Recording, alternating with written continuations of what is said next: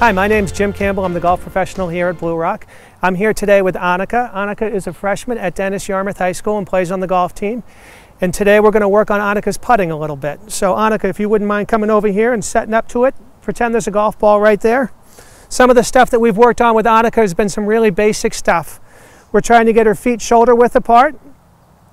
We're trying to get her posture so that her eyes are right over the golf ball that she's trying to putt.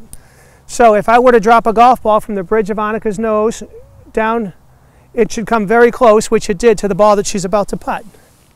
After that, we try to keep Annika's head and knees nice and still, and she strokes the ball with her shoulders and forearms. Go ahead and knock it right in there, Annika.